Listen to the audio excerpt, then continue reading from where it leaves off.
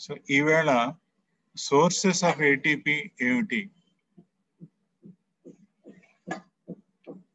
ఈ ఏటీపీ ఏ రకంగా శరీరంలో ఏ పదార్థాలను ఉపయోగించుకొని తయారు చేయబడుతుంది అనేది మనం తెలుసుకుందాం.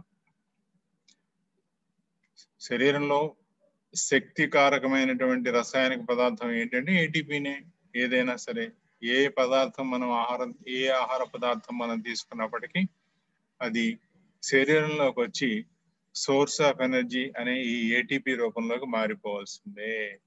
ఏటీపీ శరీరంలో స్టోర్ చేయబడి ఉంటుంది నిక్షిప్తమై ఉంటుంది రసాయనిక పదార్థం. ఎక్కడంటే సైటోప్లాజంలోను న్యూక్లియర్ ప్లాజంలోను ఇవి ఉంటాయి. తర్వాత మజిల్ సెల్స్లో ప్రధానంగా మనకి ఎక్కువగా ఈ ఏటీపీ అనేది ఉంటుంది. సో ఈ ఏటీపీని మనం నిరంతరము ఎక్కువగా వాడుకుంటూ ఉంటాం.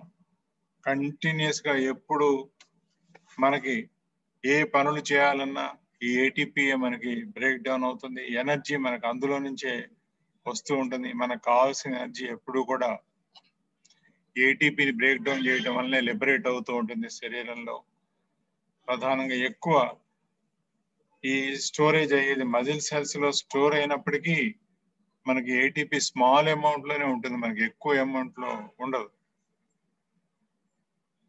స్మాల్ అమౌంట్ ఎక్కువ తక్కువ అమౌంట్లో ఉండటం వల్ల ఇది ఏమైపోతుందంటే త్వరగా ఎగ్జాస్ట్ అయిపోతుంది మనం. ఏ పని చేయాలన్నా ఏటీపీని మండించుకోవాల్సింది శరీరంలో నిక్షిప్తమైనటువంటి ఏటీపీని కొద్దిపాటి మాత్రం నిలవ ఉంటుంది.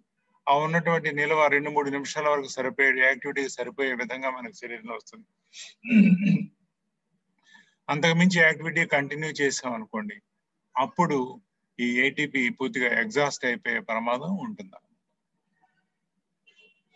అందుకని ఎగ్జాస్ట్ అవ్వకుండా మనం కంటిన్యూస్గా ఎక్కువసేపు పని చేయాలి అంటే నిరంతరం మనకి అవైలబిలిటీ ఆఫ్ ఏటీసీ అనేది అక్కడ ఉండాలి మనకి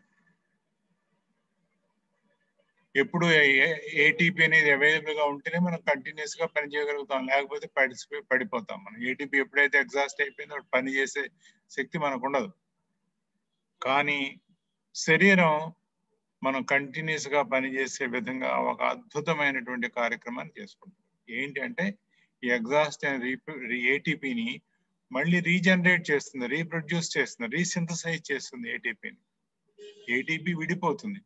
ఆ విడిపోయినటువంటి మళ్ళీ కంబైన్ చేసి ఏటీపీ తయారు చేసి పెడుతుంది. ఎందుకంటే నిరంతరం అది అందుబాటులో ఉండే విధంగా. ఈ ఏటీపీని మళ్ళీ రీజనరేట్ చేయాలి అంటే దానికి కూడా ఎనర్జీ అవసరమే.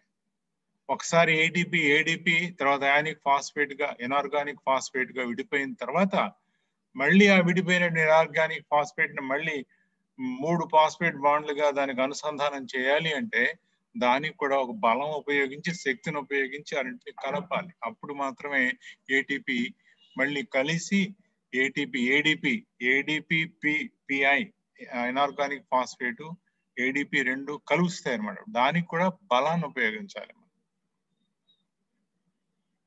అయితే ఈ ఏటీపీ ఎప్పుడు నిరంతరము రీసింథసైజ్ చేయబడుతూ ఉంటుంది.